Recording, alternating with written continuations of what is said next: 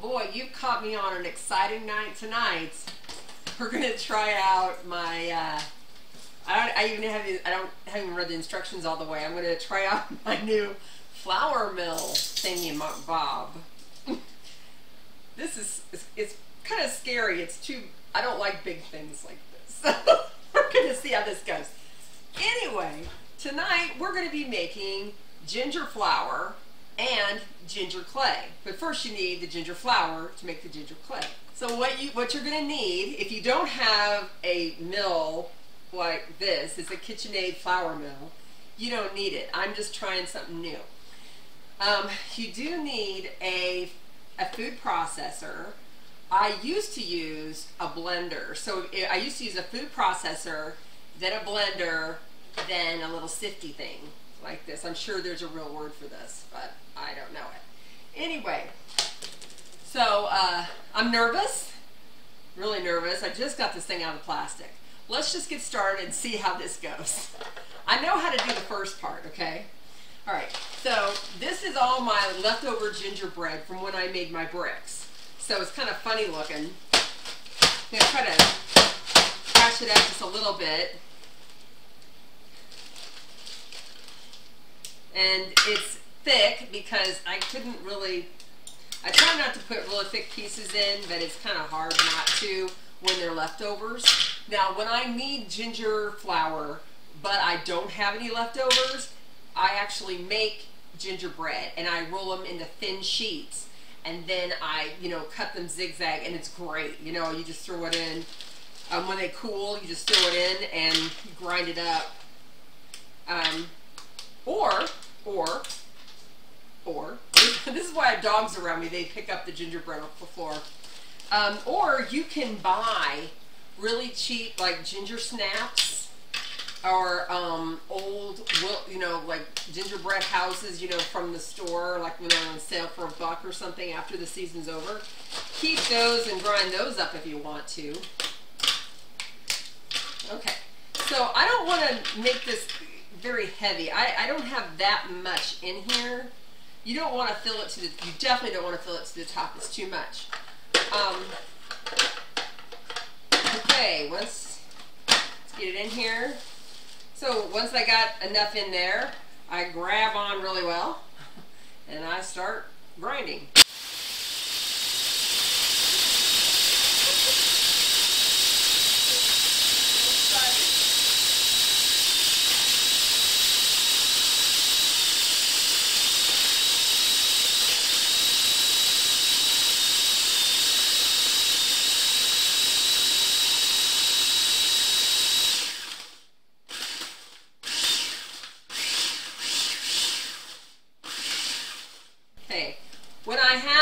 most of the pieces ground up. Ooh, smells kind of nice. Um, I have most of the pieces ground up. Now, if uh, I, I shut it off. Now, when I get a piece like this, I throw it back. I throw it back in here. I'm not gonna. I don't know what this flour thing could take. So, once I grind it up here, I'm gonna stick it into a bowl. Make sure that there's no. no there's a piece there I don't like. And then I'm to continue grinding it up until I have um, all of this ground, all of these bags ground, and then I'm going to go to the flour mill. I may have to go to my blender instead, but you know, we got to try new things, right? So here goes nothing.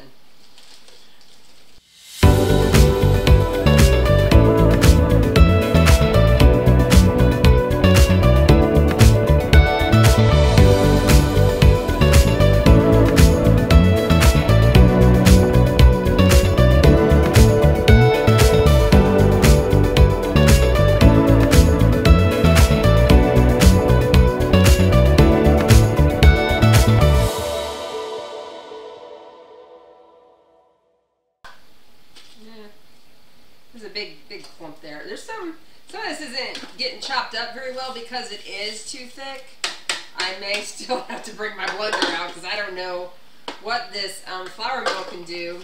But since I'm getting kind of full in my bowl, I'm going to go ahead and switch over to the flour mill here for a second or two. or three. Alright. This is a mess. Alrighty then. Move this over a bit. Alright, so this is the flour mill. um, I'm serious. I really don't know what I'm doing here. So I'm fill the hopper with grain. Okay, so you pour it in. This is not going to be cool. This is, does not does not feel right at all. Um, okay. I'm gullible. Let's see what happens. Um, okay, I'm going to hang on to this real quick because I don't know what's going to happen. Oh, this isn't bad. It's not good.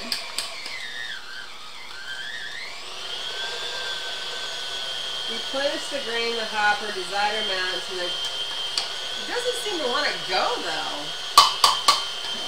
you gotta keep hitting it or something?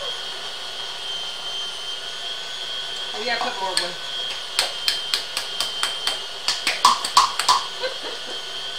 Okay, hold on. It doesn't seem to want to get down in there. I wonder if I have to push it or something. This is not safe. Don't do this at home. Make sure it's shut off before you start sticking your fingers and stuff. I'm sure more of you, most of you guys are more brilliant than I am, but just. I think my blender works faster than this. But it's going now. Do you see it? No, can you see it? It's going. Pretty good. I have this at a, um, it's like from the finest. I have it from two, two over from that.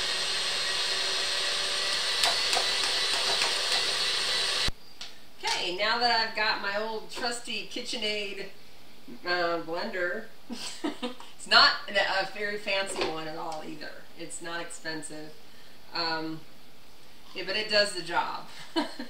so what I do is I take the crumbs that I put through the food processor and I usually put in one or two cups. I kind of eyeball it.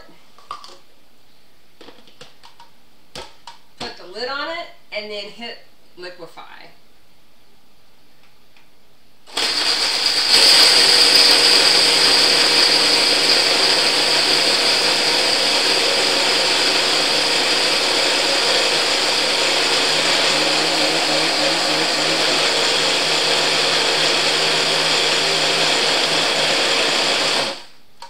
Okay. Boy, that was fast, huh? okay. Whoopsies. Wah, wah. Okay. Take this off. You don't pour it right into the bowl. You use this puppy. Because, so what we're doing is we're, we're doing like a three-step process. We are going to make this as fine uh, a flour as we can get it. So I'm sifting, I don't know if you can see this, I'm sifting this and then um, getting, make sure every little coarseness comes out of it. Um, it's going to feel like sand. Uh, and if there's anything left over, like there is here, I'll either, I'll put it back, I'll put it back in the batch and try it again. Now, something, there is something to be said for these little coarse rocks that I, rocks, that I get out of here. Um, sometimes I put them aside and I use them for gravel for my gingerbread. If I if my gingerbread piece is requires gravel somewhere, it's perfect for it. It's just really coarse, but you know, not too coarse. It's kind of cool. So that's it. That's about it. Now let's just get the rest of this done.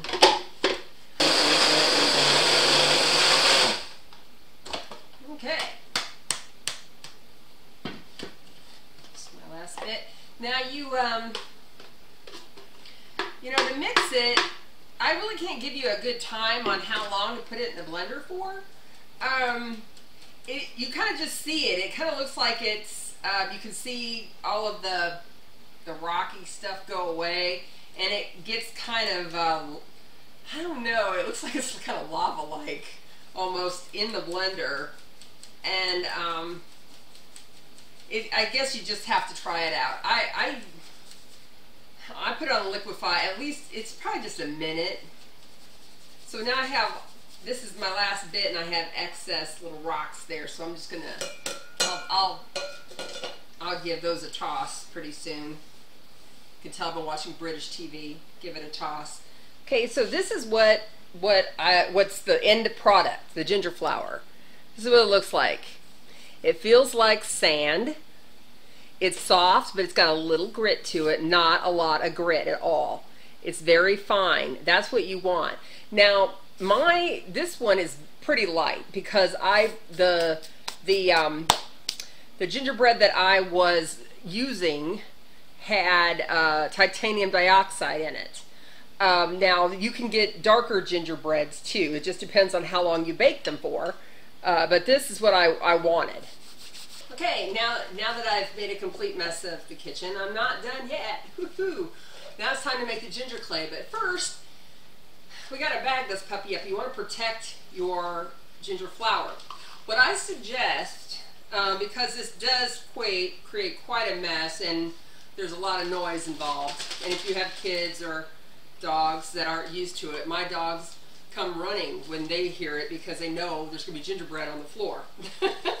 but if you if it, it does, it, you can. Um, and I do suggest you make this ahead of time. So you just before you even start your project, you know you're going to use ginger clay. You just um, just start making sheets and sheets of gingerbread. Uh, I would say maybe two, start off with two batches of gingerbread, and that's so I'll probably make around eight sheets of gingerbread, and then just grind it all up, put it in baggies, and then you'll have it. Okay, we have our ginger flour bagged. Let's start with our ginger clay. What you're going to need are the following ingredients. Your two cups of ginger flour, one tablespoon of Tylose powder, and one tablespoon of gum arabic, the powdered, and a half a cup minus a tablespoon or two of water. All right, let's make some ginger clay. So I have two cups of ginger flour already in my bowl. Okay, what you're going to need is one tablespoon of gum arabic. This is the powdered stuff. Okay, you can buy that on Amazon. One tablespoon of Tylose powder or gum Gum-Tex. This is a Wilton version, but I um, but there's a generic version out there which I talked about earlier. And then I mix it, I, I kind of incorporate it. Then I add a half a cup of water minus two tablespoons. So whatever that is. So it's not it's not all the way to the top. I just fill it up to the top and then take out two tablespoons of water.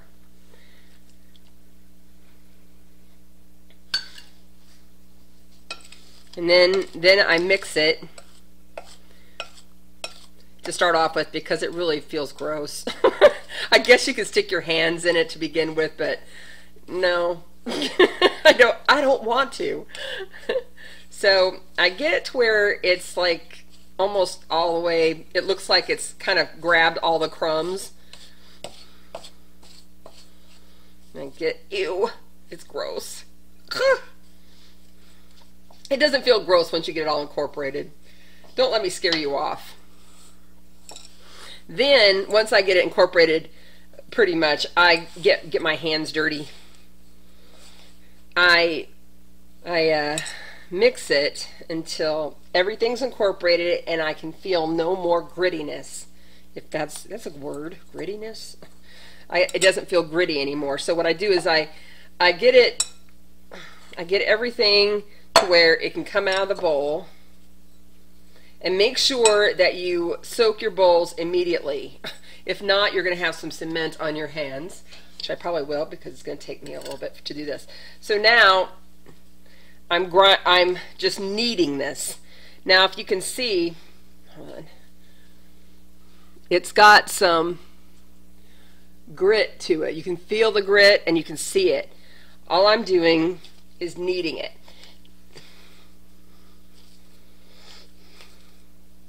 Now, if you're in dry conditions and um, you feel like you need more water, just put a tablespoon in. It, I don't think it'll hurt anything. But don't, um, you'll have a big mess if you just try to do a whole bunch of water all at once.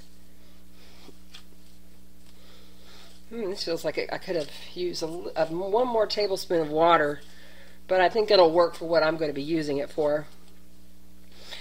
Now, you can color your ginger clay at this point, or you could color it, um, you can color the water that you put in it. Um, it's up to you. I like to, I do it like this. Um, I just, I make it plain um, when I'm making some, I need different colors. So I can split this in half and then color, you know, make two colors or three colors or whatever. Once, once I have it kneaded, it's pretty good.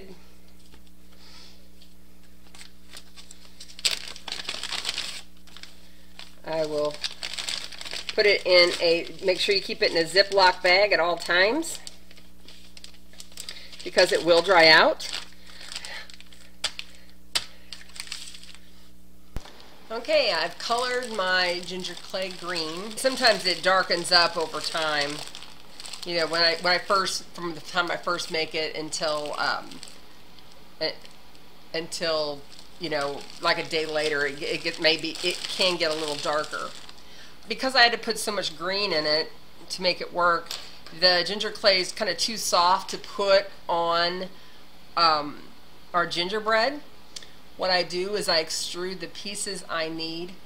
Um, so tomorrow, when it's when it's a little firmer, I can just put it on and not have to worry about the gingerbread shrinking because it will shrink. Um, it's not a big deal if it does shrink on you. You can just fill in the gaps with um, really light, uh, like um, some ginger clay, and it you can't even tell it's it's it ever shrunk. The front has a lot of straight lines to it, so I want to make sure it's easier to make the straight lines. Um, it, it's easier to make the straight lines on the ginger clay on a mat let them dry and then put them on because when you put them on it usually um, it tends to wiggle a little bit and you can see every little wiggle. So with that said, let's get started. Um, I'm just going to show you how to do some of these because it's kind of boring watching me extrude things, I know. But I wanted to show you what how how I'm doing it so when you when you uh, see it put on. So what I'm doing is I'm making the paneling for the front of the cafe. So I'm extruding uh, strips right up here. See how really loose it is?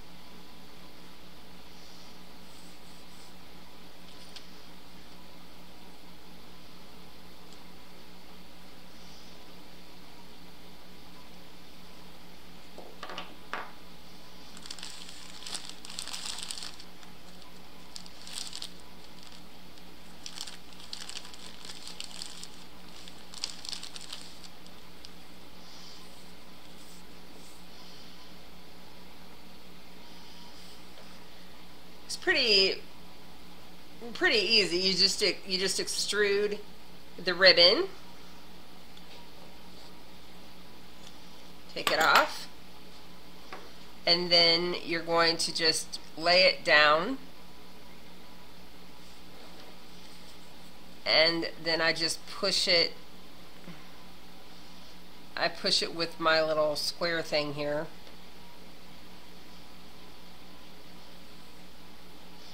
then I cut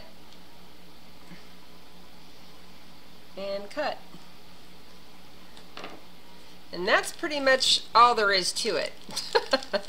And I'm going to make um, maybe oh about six or seven of these big strips.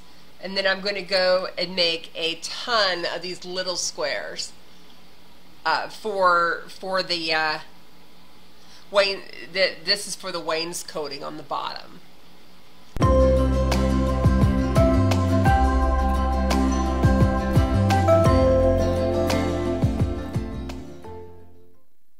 Well, that was a lot of extruding and I probably still have some more to go, but fortunately it's past my bedtime. I do have a job. So next time I'm going to be showing you how to make Tylose glue and we are going to be putting on our ginger clay paneling that we've worked so hard to extrude tonight. So until then,